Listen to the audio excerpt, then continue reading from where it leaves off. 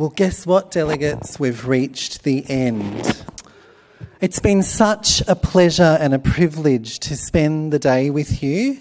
Um, thank you for entrusting me to be your Master of Ceremonies today. I hope um, like me, that you have taken away really important messages around the value and importance of inclusion for everybody and the importance of having perhaps difficult and different conversations to really spark our continued energy and creativity towards better, more innovative, more creative solutions to benefit not only people with disability, but every person in our society, in our community, both locally, nationally, and indeed internationally.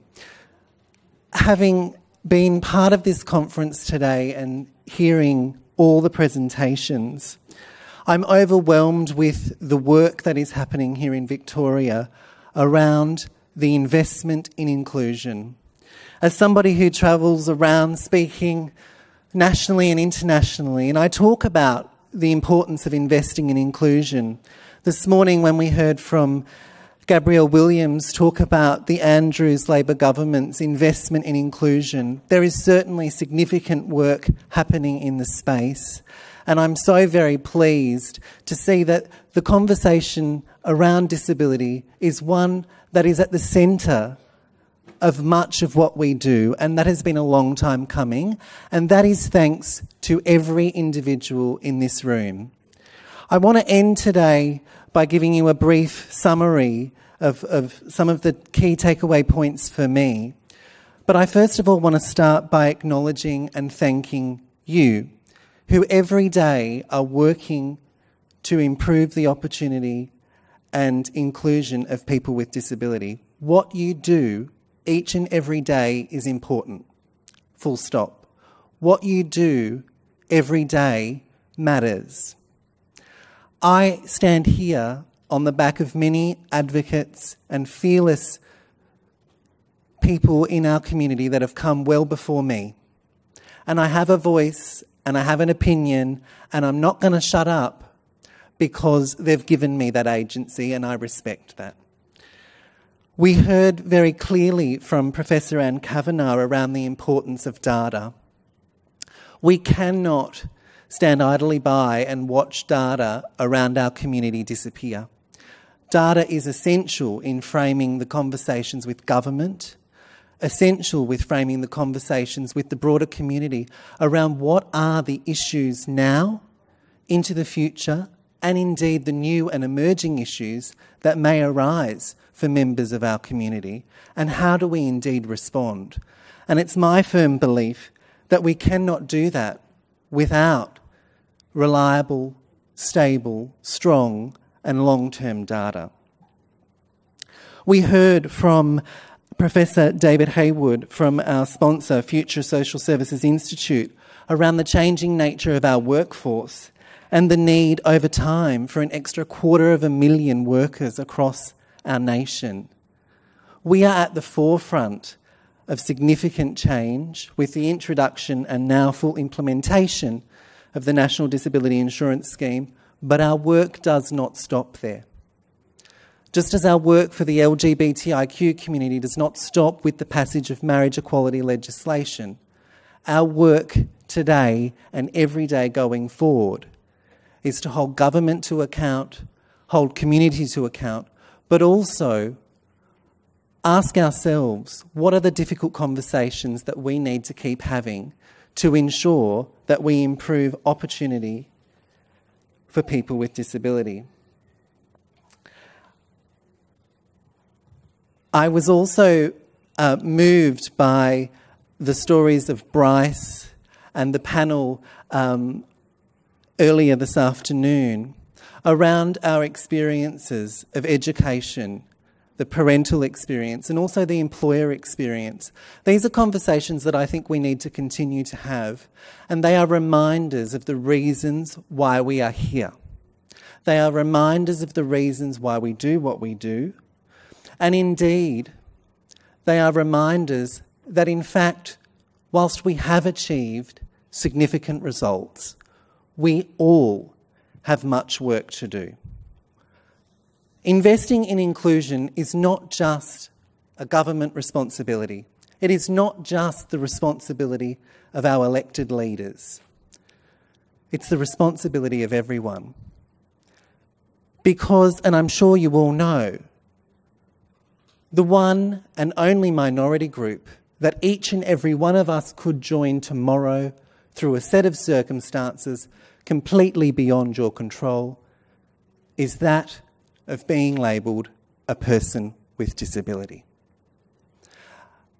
Delegates, as you go out into the world and continue the great work that you do, I would ask you to reflect on that and ask you to think about now, if I were a person with disability, and indeed there are several people with disability in the audience today. For those of you who do not identify as a person with disability, I would ask you to reflect and ask yourself how would you expect to be treated in your community if you lived each and every day with that label. I reflect on the um, discussion that we've just had around the images of people with disability and our representations in media. And although I can safely report that I am auditioning for The Block, um, and I've put a call out to be on The Bachelor and Bachelorette. I'm covering all of my reality TV bases. I think it's an important conversation to have. Where are the representations of all people with disability? Where are the representations of us in mainstream media? Often, when I speak to people about the work that I do, particularly in the employment space, and I go into boardrooms as a senior leader in the disability employment services sector, and quite often the most common question I get is Wayne, what exactly is your disability? We didn't see it. And I think to myself, that's precisely the point. Disability is as diverse and as rich as we are individuals. And although we may not see it, it is there and it is part of the essential fabric and strength of our community. I give my deepest thanks to each and every one of you for the work that you do. Because without you, we would not be here today. Each and every speaker today has given of themselves voluntarily to share with you their insights and perspectives. And it is only through those types of discussions that we begin to grow, that we develop, that we change, that we evolve, and that we acknowledge what we're doing right and where indeed we need to improve. Professor Kavanagh's presentation on stats was a stark reminder for me about that, about just how perhaps the experience of people with disability has not moved as far as we would like it. And indeed, I'd like to see eventually Professor Kavanagh do a speech that says We've got 0% of people with disability that experience bullying. We've improved the health, well-being and welfare of people with disability by 100%. And it is only with the work of organisations like the ones represented here today and who are not here today, but will indeed continue to do that work. I thought it fitting as I was introduced to the chorus of Lady Gaga that my final and parting words be a direct quote of one Lady Gaga. Delegates, it's been my privilege to captain the ship for the 2018 Doing Disability Differently conference. I will continue to do things differently. I will not apologise and I will not compromise on that because it's through those difficult conversations that we create the space for lasting long term social change. And as Lady Gaga says, delegates, whether life's disabilities left you outcast, bullied, or teased, rejoice and love yourself today because, baby, you were born this way.